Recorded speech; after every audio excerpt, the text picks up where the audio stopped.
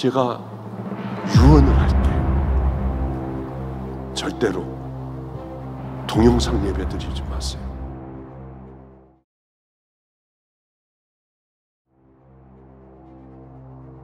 유튜브로 설교를 들을 수 있는 시대에 제 친구가 더 자극적인 설교를 찾고 계속 듣다 보니 교회에 대한 실망감과 교들과의 관계에서 문제도 생기다 보니 교회를 떠나려고 합니다. 이 영혼에게 어떤 말을 해줘야 될까요? 인터넷 예배는 절대로 안 돼요. 그럼 마귀가 잡은 거예요. 절대로 안 됩니다.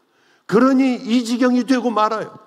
여러분들은 인터넷 예배 드리면 안 돼요. 제가 드려봤어요.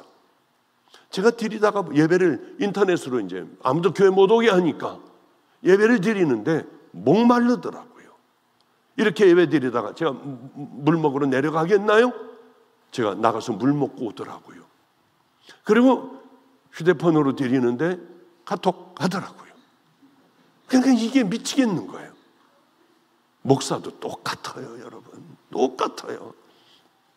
카톡 이겨 왔어요. 아버니가 아니 교인이 왔네. 그러고 보고 띵동 하니까 딴 생각 하지도 않고 뛰어나가가 누구세요? 제가 그러고 있더라고요. 이게 예배예요. 제가 경험해 봤어요. 그건 예배가 아니에요. 마지막에 사단들이 붙던 게 이런 것이구나. 가서 헌금이나 휴대폰으로 쭉 보내는 게 이게 예배입니까? 예배는 하나님 앞에 희생을 드리는 거예요. 먼저 와서 간절하게 예배를 드리고 하나님 앞에 기도하며 우리들은 내 모든 죄들을 다 토해내고 천국의 길을 향해 걸어가는 그 믿음의 길들이 예배인 거예요. 여러분들, 제가 유언을 할게요. 절대로 동영상 예배 드리지 마세요. 이것저것 돌아, 돌아 다니며 더 좋은 예배, 자극적인 예배, 뭐 이런 것 찾아 듣지 마세요. 여러분, 여러분의 교회 다니는 그 말씀만 들어도 아니 그걸 다 어떻게 여러분들이 순종할 수가 있겠어요?